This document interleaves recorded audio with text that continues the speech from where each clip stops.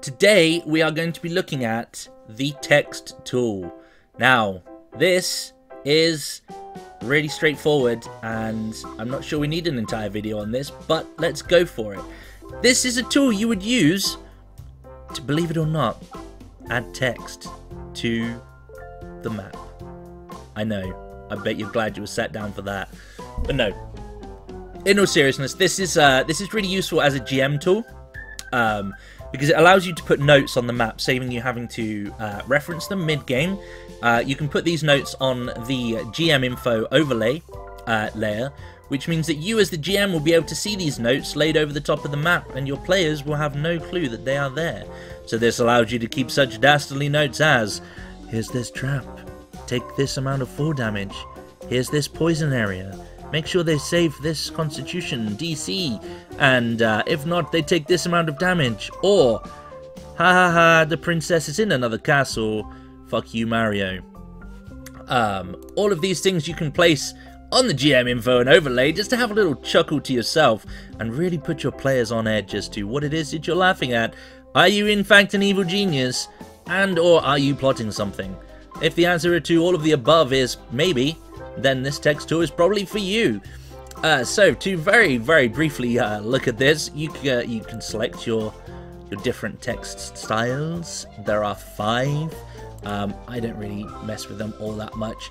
And quite simply, you specify what you want, click in an area, and oh look!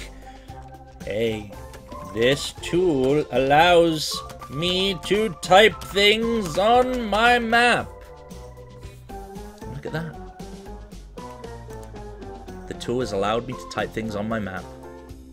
So, there you go, ladies and gentlemen. That is what you would use the text tool for.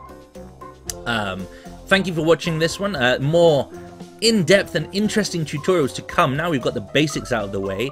Um, but we'll save that for another video. As always, take it easy. And if it's easy, take it twice.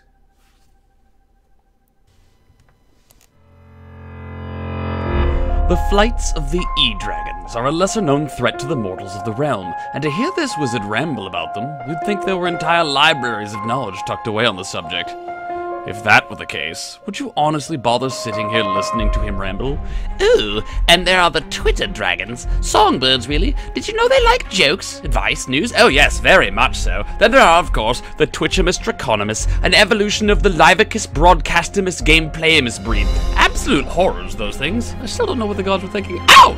Ow! Perhaps you'd like to hear about the Game Wisps. Colorless flight. Very fascinating stuff the dragons who like to give prizes and exclusive content rather than merely hoard the wealth for themselves. You groan. What disarray this wizard's tower is in.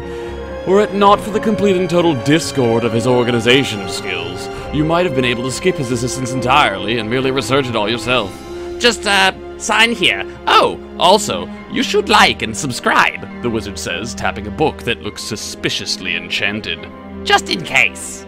What do you do?